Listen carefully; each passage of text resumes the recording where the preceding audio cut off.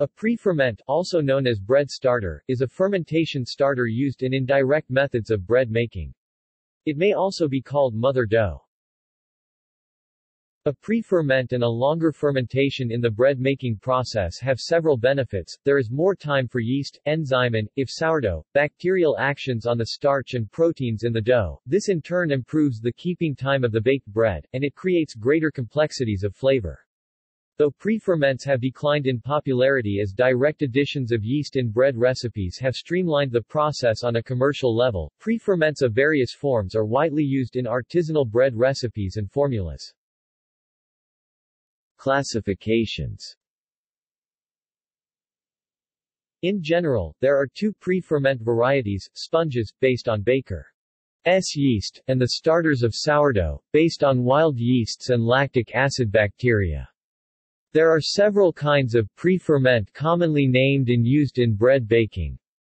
They all fall on a varying process and time spectrum, from a mature mother dough of many generations of age to a first-generation sponge based on a fresh batch of baker's yeast.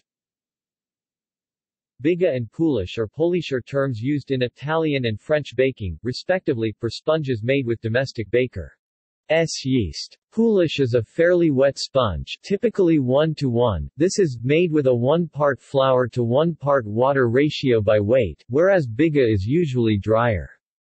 Bigas can be held longer at their peak than wetter sponges, while a poolish is one known technique to increase a dough's extensibility.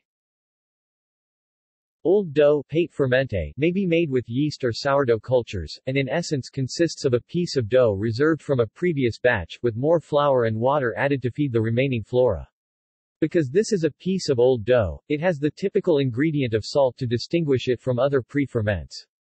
Once old dough had rested for an additional 10 hours of age, the French named it levain de chef. Sourdough starter is likely the oldest, being reliant on organisms present in the grain and local environment.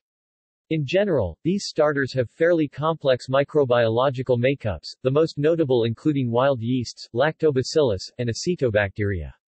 They are often maintained over long periods of time. The Boudin Bakery in San Francisco for example, has used the same starter dough for over 150 years. A roughly synonymous term in French baking is levain. Mother dough often refers to a sourdough, and in this context the term starter often refers to all or a piece of mother dough. However, mother dough may also refer to a first-generation yeast sponge, so the process used in relation to the ingredients and fermentation times is important to understanding yeast versus sourdough methods. A roughly synonymous term used in French baking is chef.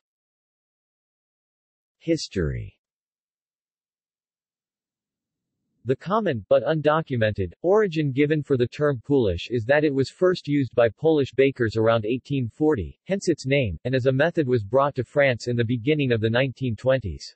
Poolish, however is an Old English version of Polish, whereas the term seems to be most used in France where Polonais is the word for pouliche. Some 19th-century sources use the homophone Polish a French word that typically means a female foal. With either spelling, the term only appears in French sources towards the last part of the 19th century. There is not currently any credible explanation for the origin of the term. Use A pre-ferment is easy to make and usually consists of a simple mixture of wheat flour, water, and a leavening agent, typically yeast.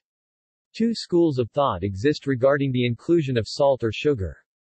They both act to inhibit or slow yeast growth, as determined by time to proof or rise, so they are not usually included and instead are added to the final dough.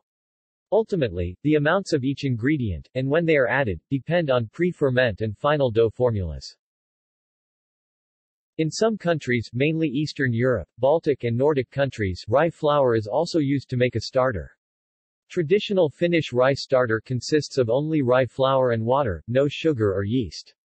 Some might also use yogurt to fasten the starter to rise.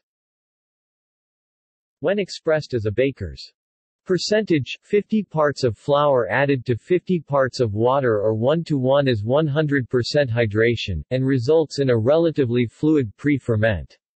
Stiffer doughs such as 50% hydration or 2 to 1 may also be used.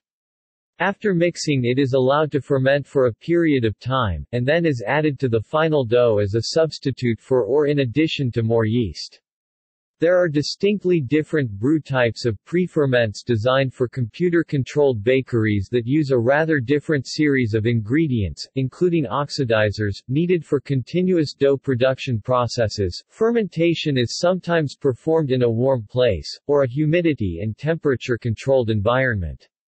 Cooler than room or refrigeration temperatures decelerate growth and increase the time interval, while slightly warmer temperatures accelerate growth and decrease the time interval. Too warm of a temperature slows growth, while even higher temperatures will kill the yeast. Death of the yeast cells occur in the range of 50 to 60 degrees Celsius 122 to 140 degrees Fahrenheit. When cooling a levain or sourdough pre-ferment, if the dough temperature drops below 10 degrees Celsius 50 degrees Fahrenheit, it affects the culture and leads to the loss of a particular aroma in the baked bread. To allow room for the pre-ferment to rise, the ingredients are mixed in a container at least four or five times their volume.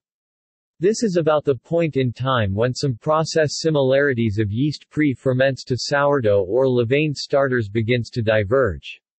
The typical amounts of time allotted for the yeast pre-ferment period may range from 2 to 16 hours, depending on the dough's temperature and the added amount of viable yeast, often expressed as a baker's percentage. Spontaneous sourdough starters take, at a minimum, several days, and are subject to many variables. To make a sourdough starter from scratch, the minimum needed ingredients are flour, water, and time.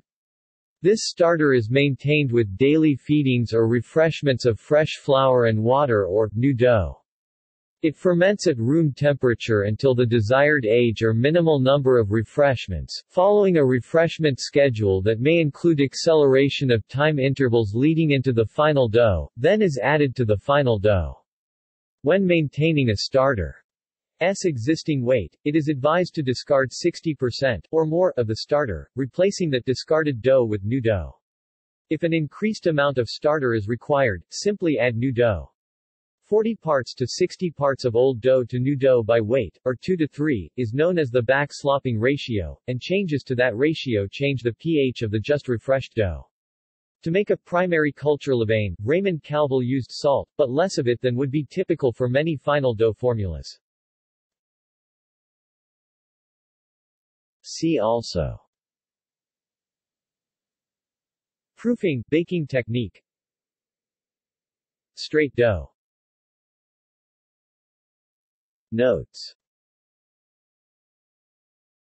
References